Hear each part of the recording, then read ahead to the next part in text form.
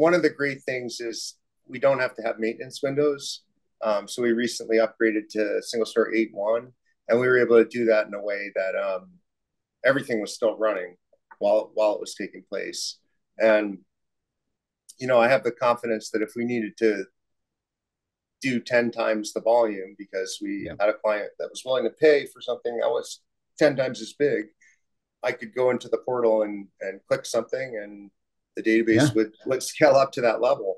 Yeah. Um, and that's something I, I don't have to think about anymore. Um, and I can focus on there's many other tech problems beyond the right. database, but I, right. I can right. focus on some of those instead. And and that's been really, really useful for me. Fantastic, fantastic. 100,000x faster, faster performance, faster data access, and then with even with 10 to 20x high 10x now and then you could grow to another 100x probably in the next coming years right? And all at a lower tco so that's that's a phenomenal phenomenal storyline and a, and a proposition there